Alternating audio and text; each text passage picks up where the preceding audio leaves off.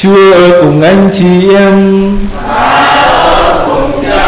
Tin mừng Chúa Giêsu Kitô theo Thánh Luca.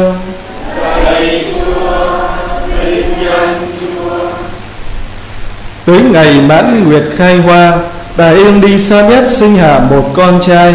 Nghe biết Chúa đã rộng lòng thương xót bà như vậy, láng giềng và tân thích đều chia vui với bà. Khi con trẻ được 8 ngày, họ đến làm phép cắt bì và tính lấy tên cha là Zakaria mà đặt cho em. Nhưng bà mẹ lên tiếng nói, không được, phải đặt tên cháu là Gioan. Họ bảo bà, trong dòng họ hàng của bà chẳng ai có tên như vậy cả. Rồi họ làm hiệu hỏi người cha, xem ông muốn đặt tên cho em là gì.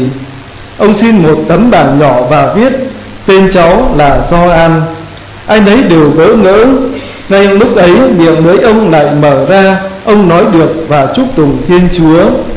Đáng giềng ai nấy đều kinh sợ và các việc ấy được đồn ra khắp miền núi Jude. Ai nghe cũng đều tâm suy nghĩ và tự hỏi đứa trẻ này rồi ra sẽ thế nào đây? Vì quả thật có bàn tay Chúa phù hộ em. Đó là lời Chúa. Lời Chúa Kitô,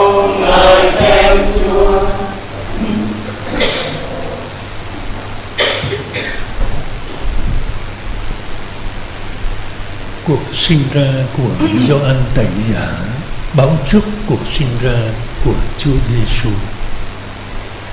Nghĩa là Gioan sinh ra vì Chúa Giêsu. Gioan đã được sinh ra trong một hoàn cảnh hết sức đặc biệt. Cha mẹ già rồi không thể sinh nổi nữa, thì Thiên Chúa làm cho có con. Và em bé được đầy thánh thần ngay từ trong lòng mẹ, nghĩa là được thánh hiến cho thiên chúa, dành riêng cho thiên chúa. Vì thế khi em sinh ra đó thì người ta không nghĩ tới cái chuyện đó mà nghĩ theo thường tình, muốn lấy tên cha mà đặt tên cho em bé, theo thường tình nhưng mà rõ ràng, em bé này không theo thường tình, vì đã được thánh hiến dành riêng cho thiên chúa. Trên cả cái tên của em, thiên chúa cũng chỉ định. Nghĩa là trọn vẹn cái con người này thuộc về thiên chúa. Rồi người ta ai cũng để ý xem. Rồi đức trời này ra sao? Quả thật có bàn tay thiên chúa ở với em. Mô tả sơ qua như vậy, thưa anh chị em, tôi muốn nói rằng là do ăn tẩy giả. Và cuộc sinh ra, với cuộc sinh ra của ông là để dành cho thiên chúa. Mà những gì dành cho thiên chúa thì người ta không được nhìn nhận phê phán, đặt để theo tính tự nhiên, mà phải làm theo ý Chúa.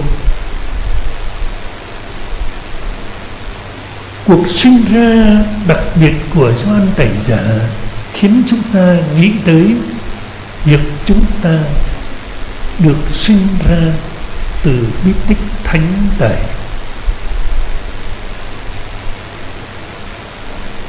chúng ta cũng được thánh hiến từ ngày chịu thánh tẩy dành riêng cho Thiên Chúa trong Chúa Kitô. Theo thứ gửi Indicatio mà tôi từng trưng ra ở đây là ngay trước cả khi tạo thành vũ trụ, người đã chọn ta trong Đức Kitô để trước thánh nhan người ta trở nên tinh tuyền thánh thiện. Thư gửi gửi thư của thánh Juda chúng ta là người được dành riêng cho Chúa Kitô. Rồi thư thứ nhất Corinto của thánh Phaolô, chúng ta được hiện hữu trong Chúa Kitô. Cũng thưa Efeso chúng ta được dựng nên trong Chúa Kitô. Nghĩa là ngay từ đầu chúng ta đã thuộc về Chúa Kitô, được thánh hiến cho Chúa Kitô. Cho nên chúng ta sinh ra ở đời này không phải là chuyện tự nhiên. Bên ngoài thì xem ra tự nhiên, nhưng là trong ý định, yêu thương của Thiên Chúa, trong sự sắp xếp của Thiên Chúa, mỗi người sinh ra ngày giờ nào, hoàn cảnh nào đã được tình yêu và thượng trí của Thiên Chúa ấn định hết rồi?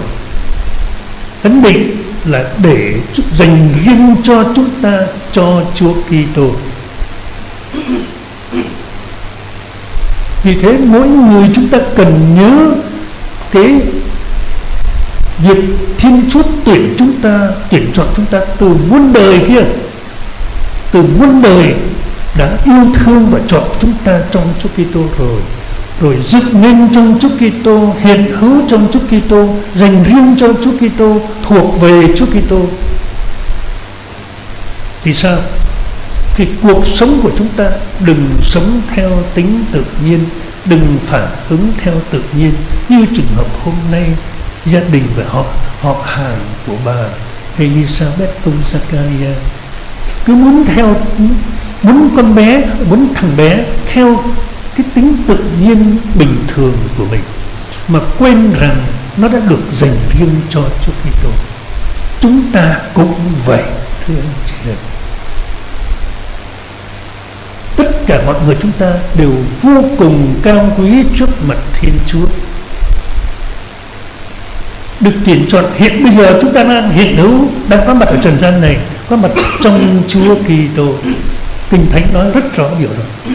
Có mặt trong Chúa Kitô, vì thế mà chúng ta mang danh Kitô hữu. Trên cuộc sống của chúng ta đã dành riêng cho Chúa Kitô rồi đó, thì chỉ có một chuyện duy nhất là đừng sống và xử sự suy nghĩ nói năng theo tự nhiên, mà phải theo ý Chúa đã ấn định cho từng người trong chúng ta.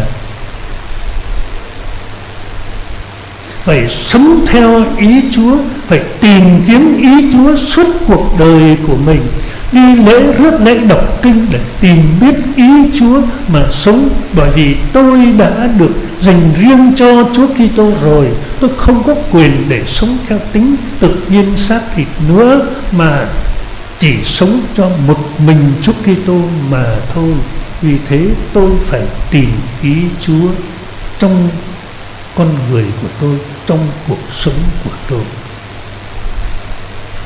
Trước hết là phải bớt dần bớt dần những cái cách suy nghĩ, nói năng, xử sự theo tính xác thịt tự nhiên của chúng ta mà mỗi người chúng ta đều thấy rằng còn nhiều lắm nhiều lắm, hầu như hầu như là sống theo tính tự nhiên mà thôi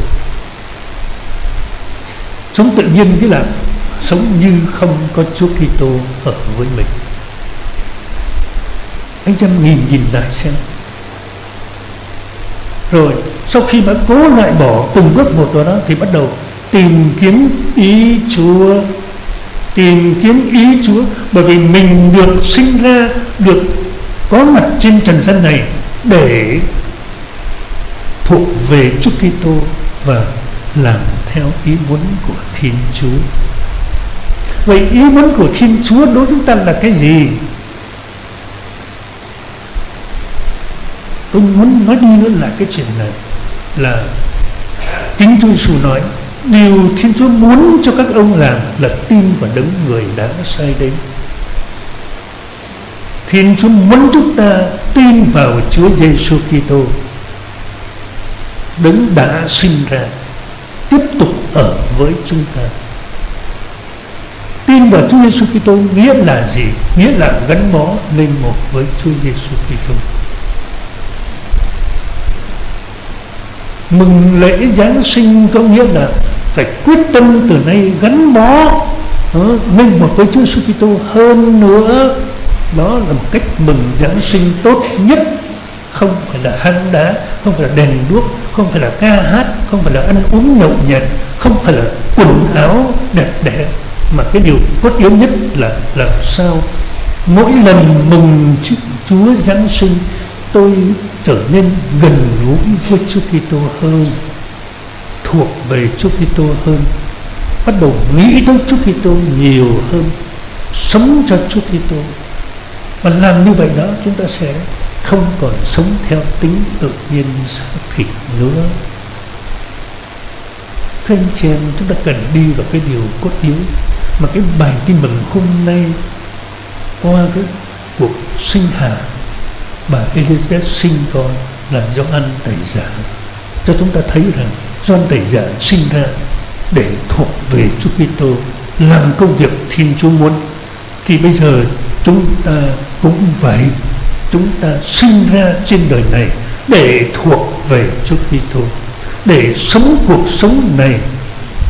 Bây giờ để tôi xin chung lại thưa Efeso chương 2 câu 10 chúng ta là tác phẩm của Thiên Chúa, chúng ta được dựng nên trong Chúa Kitô để sống và thực hiện công trình tốt đẹp người đã chuẩn bị cho chúng ta